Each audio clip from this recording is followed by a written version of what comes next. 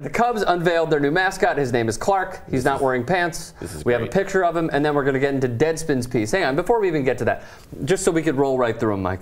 Director Mike, behind the scenes, helping us out once again. Clark the Cub was unveiled by the Cubs. Deadspin then put out a piece saying, hey, let's do not safe for work stuff with Clark the mascot so we can make fun of the Cubs, which was awesome. So first we have the original, so Clark the Cub, uh, not wearing pants, has the jersey on. So you know what? Oh, okay, whatever. He, he looks hip, I guess. You know, he's got a baseball. At least they have the right sport. He's got a bat too. Cool. Backwards hat. Fun. Loving, I suppose. And then Deadspin asked their readers to send in a bunch of stuff. So there's the first one. Um, and I'm sorry I didn't credit all of them. There's obviously Rob Ford from uh, Toronto. Uh, How to Catch a Predator, of course. All right, continue. Miley Cyrus getting in there, and you could see a little uh, schlong on Clark the Cub. All right, moving along. And there's more schlong. Fantastic. Deadspin readers, some of the most. so. Is that it? Oh, that's it. Deadspin readers, uh, thank goodness. Some of the some of the best readers of all time. Jesus, Drew. so, so uh, funny to me. I'm uh, like, did you guys get the same feeling when you saw Clark the Cub at first? What? When I saw him, like, you Did I saw want to draw a dick on When it? you saw him not wearing pants. when you saw him not wearing pants. I mean, I think it's. I mean, I don't really.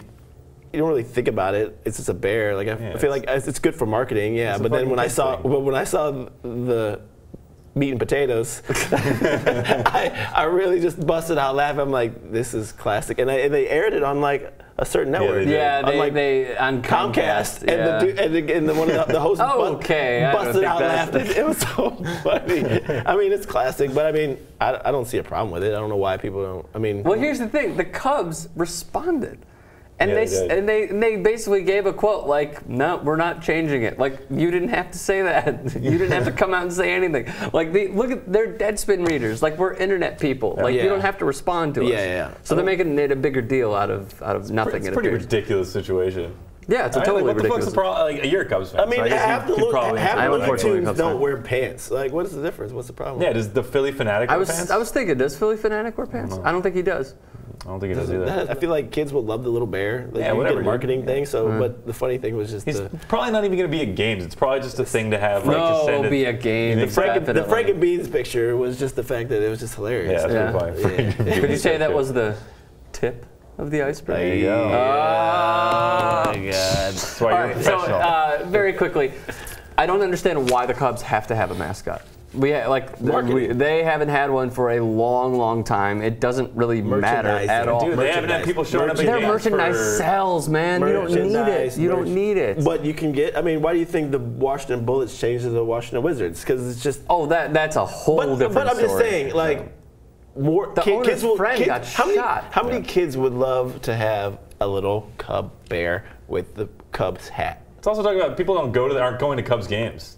You know, so now you got the Oh, it's a thank family God. Thing. Yeah, Need change. So I There you mean, go. it's, Put I your foot it's- down. I feel like it's just they're trying to make more money. yeah. I, I by, agree.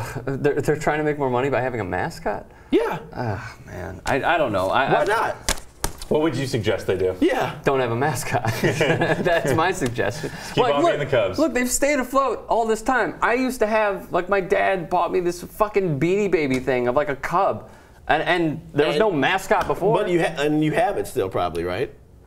no, it's back in Chicago. So there you go. Of course. All of a sudden, Dad's gonna buy. I the keep all my collectibles. I'm just, I'm just saying, I. You're just a Chicago in. That, I don't understand why they had to do it. The timing is perfect, by the way. Baseball off season, the Cubs, uh, the, the, the Cubs are in the off season, but the Bulls suck. Yeah. The Blackhawks are good, but I mean, people in Chicago, a lot of people in Chicago pay attention to the Blackhawks. But I'm just saying, whenever there's Cubs news, people are going to look at it and they're going to see it. So the timing was perfect, obviously, like for all this. they're gonna make money off it. So why not? Such a funny story, man.